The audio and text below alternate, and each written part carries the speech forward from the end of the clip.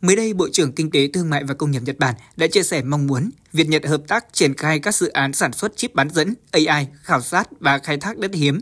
Đề nghị này được Bộ trưởng Kinh tế Thương mại và Công nghiệp Nhật Bản Nishimura Yasotu nêu khi gặp Thủ tướng Phạm Minh Chính vào chiều ngày 3 tháng 11. Ông Nishimura Yasotu bày tỏ mong muốn hai bên hợp tác triển khai các dự án đầu tàu mang tính dẫn dắt trong các lĩnh vực mũi nhọn như sản xuất chip bán dẫn, trí tuệ nhân tạo, đổi mới sáng tạo, công nghệ sinh học, Nhật Bản cũng muốn hợp tác với Việt Nam trong khảo sát, khai thác, chế biến đất hiếm và phát triển các ngành công nghiệp có liên quan. Ông cũng nói, Nhật Bản sẽ phối hợp chặt chẽ cùng các bộ ngành của Việt Nam thông qua các nhóm công tác để thúc đẩy hợp tác trên các lĩnh vực, nhất là trong chuyển giao khoa học công nghệ, đào tạo nguồn nhân lực. Hai bên cũng tăng cường hợp tác cơ chế đa phương, nhất là CPTPP. Đáp lại, Thủ tướng Phạm Minh Chính hoan nghênh việc hai bên lập các tổ công tác để thúc đẩy hợp tác và giao các bộ ngành xây dựng kế hoạch, dự án cụ thể để triển khai các thỏa thuận đã đạt được. Ông khẳng định Việt Nam tạo điều kiện thuận lợi cho các doanh nghiệp của Nhật Bản có nhu cầu đến đầu tư và đề nghị phía Nhật Bản hỗ trợ để doanh nghiệp Việt Nam tham gia sâu hơn vào chuỗi cung ứng toàn cầu của nước này.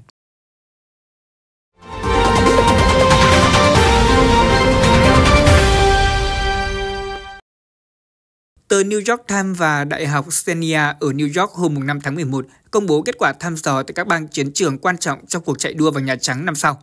Cựu Tổng thống Mỹ Donald Trump dẫn trước người kế nhiệm Joe Biden từ 4 đến 10 điểm phần trăm ở năm bang Nevada, Georgia, Arizona, Michigan và Pennsylvania. Hơn 70% người tham gia khảo sát thực hiện ngày 22 tháng 10 đến 3 tháng 11 nói rằng Tổng thống Biden 80 tuổi đã quá giả để làm lãnh đạo Mỹ – chỉ có 19% người được hỏi cho rằng ông Trump 77 tuổi không nên trở thành tổng thống vì tuổi tác. Theo kết quả thăm dò, đa số cử tri nữ yêu thích ông Trump hơn. Lợi thế của Tổng thống Biden ở nhóm cử tri dưới 30 đã giảm xuống khi chỉ 1% nhóm này hài lòng về tình hình kinh tế, dù đây từng là nhóm cử tri ủng hộ Đảng Dân Chủ một cách mạnh mẽ vào thời điểm năm 2020.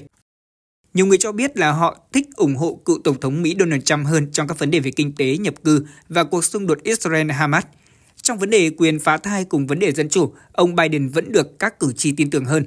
Chiến dịch tranh cử của Tổng thống Biden hôm 5 tháng 11 đã bác bỏ những lo ngại về thách thức của ông trong cuộc đua vào năm 2024, cho rằng những dự đoán có thể hơi khác vào một năm sau. Người phát ngôn chiến dịch Kevin Munoz cho biết họ đang nỗ lực tiếp cận và huy động ủng hộ từ nhiều nhóm cử tri khác nhau. Chiến dịch của cựu Tổng thống Donald Trump chưa bình luận về kết quả thăm dò này.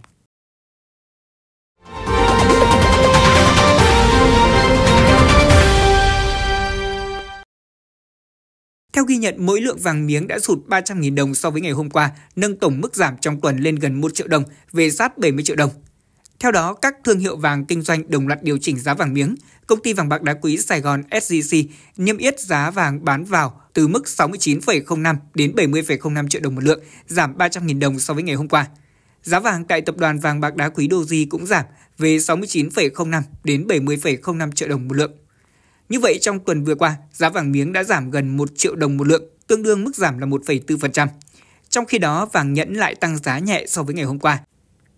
Giá vàng nhẫn loại 1 đến 5 chỉ tại SJC tăng 100.000 đồng lên 58,85 đến 59,85 triệu đồng một lượng. Nhẫn tròn hơn 4 số 9 hưng thịnh vượng của Doji giao dịch tại 58,9 đến 59,85 triệu đồng. Nhẫn tròn trơn vàng rồng thăng long 59,18 đến 60,13 triệu đồng. Vàng miếng giảm trong bối cảnh thị trường quốc tế đi lên. Tối qua thì giá vàng giao ngay có lúc vọt lên 2.003 đô la Mỹ trước khi chốt phiên cuối tuần ở mức là 1.992 đô la Mỹ một ounce, tương đương với khoảng 59,3 triệu đồng một lượng nếu quy đổi theo tỷ giá của Vietcombank, chưa bao gồm thuế và phí. Hiện mức này còn thấp hơn với vàng nhẫn trong nước nửa triệu đồng, còn vàng miếng là 10,7 triệu đồng một lượng.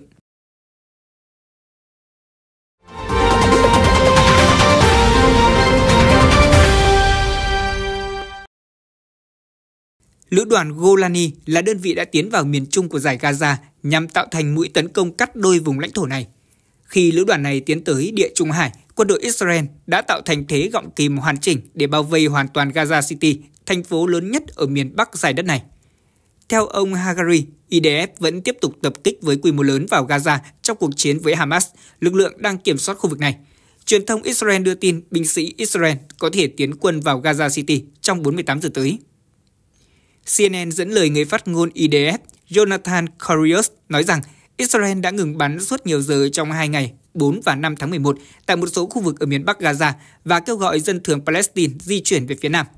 IDF đã phong tỏa và tập kích Gaza từ ngày 7 tháng 10 để đáp trả đợt đột kích của Hamas vào miền Nam của nước này gây thương vong lớn.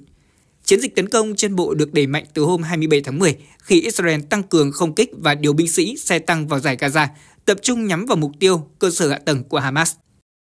Trước đó, ông Galan ngày 4 tháng 11 khẳng định Israel sẽ tiếp tục các chiến dịch ở Gaza cho đến khi chiến thắng. Theo Bộ trưởng Quốc phòng Israel, sau cuộc chiến sẽ không còn nguy cơ nào ở Gaza có thể đe dọa Israel ở biên giới phía Nam.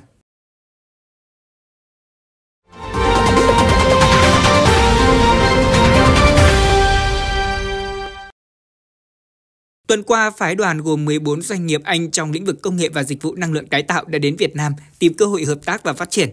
Nhóm doanh nghiệp này tập trung tìm hiểu cơ hội hợp tác và đầu tư lĩnh vực năng lượng tái tạo như điện gió ngoài khơi, truyền tải và lưu trữ năng lượng. Việt Nam được xem là điểm đến ưu tiên nhằm mở rộng hoạt động tại khu vực châu Á-Thái Bình Dương của họ vì ngành năng lượng tái tạo đang có những chuyển biến tích cực. Ông Denjen Endes, đại diện Hiệp hội Doanh nghiệp Anh tại Việt Nam tin tưởng vào tiềm năng của thị trường điện gió ngoài khơi ở đây và các bước tiến về chính sách nhằm thúc đẩy cho lĩnh vực này. Ông cho biết các doanh nghiệp Anh với kiến thức chuyên môn sâu rộng rất mong muốn được đóng góp vào thị trường sôi động này. Trong chuyến thăm này, phái đoàn cũng đã tham dự diễn đàn kinh tế xanh tổ chức bởi Hiệp hội Doanh nghiệp châu Âu Eurocharm và Hội nghị năng lượng gió ASEAN. Đại sứ Anh tại Việt Nam Ian Frew nhắc lại cam kết của chính phủ Anh trong việc trở thành đối tác chuyển đổi năng lượng của Việt Nam thông qua các sáng kiến song và đa phương. Tiêu biểu là chương trình quan hệ đối tác và chuyển dịch năng lượng công bằng ZP được kỳ vọng sẽ điều phối 15,5 tỷ đô la Mỹ nhằm hiện thực hóa quá trình chuyển đổi xanh tại Việt Nam. Vương quốc Anh là thị trường điện gió ngoài khơi lớn thứ hai thế giới. Chiến lược an ninh năng lượng của Anh được công bố hồi tháng 4 năm 2022 đặt mục tiêu công suất gió ngoài khơi lên tới 50 GW vào năm 2030. Đến nay thì Anh có công suất lắp đặt năng lượng gió ngoài khơi đạt 13,7 gigawatt, tăng gấp 4 lần so với năm 2012.